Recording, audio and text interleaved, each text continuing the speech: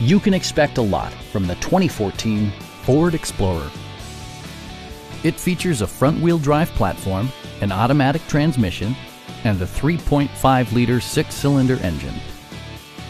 Ford infused the interior with top-shelf amenities such as one-touch window functionality, fully automatic headlights, power door mirrors and heated door mirrors, remote keyless entry, and power front seats. Third row seats provide an even greater maximum passenger capacity. Ford ensures the safety and security of its passengers with equipment such as dual front impact airbags, front and side impact airbags, traction control, a panic alarm, and four-wheel disc brakes with ABS.